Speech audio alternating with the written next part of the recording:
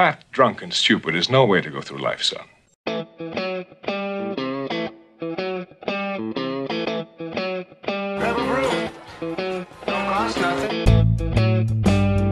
time that it was most striking, the time that the similarity actually affected me, was the Blues Brothers.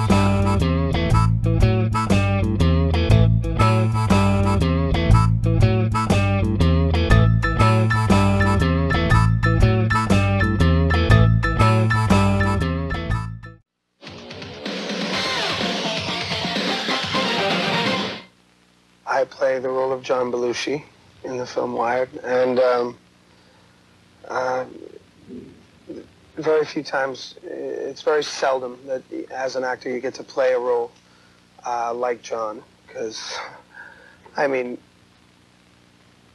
uh, someone as diverse and um, and three-dimensional as John was. You know, he was so he could do so many things and do them so well that you know, as an actor, to be able to get an opportunity to to do all those things and to be all those things is is one thing.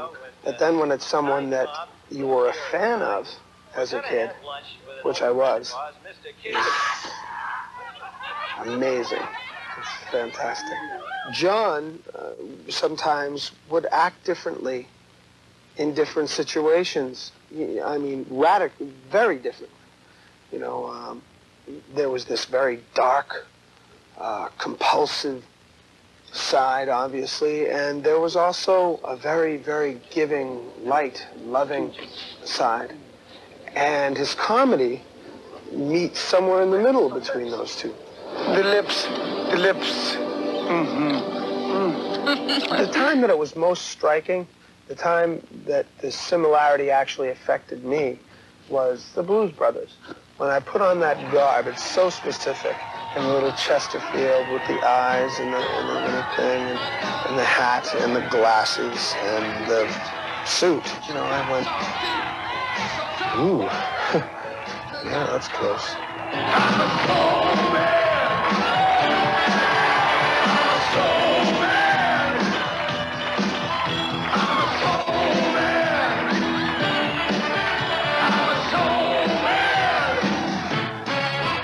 We had to dance and sing, and every time we walked off the stage, you know, it was press and uh, 700 extras and so many people. Um, I mean, it was one of those days that made me more able to relate to John, really, quite frankly. Uh, it was like, wow, you know, this is on a very, very small scale, the kind of pressure and pulling that he must have felt. I really can't help but think that if if John saw this movie, he would like it because it's his kind of comedy. I mean, it's his kind of humor.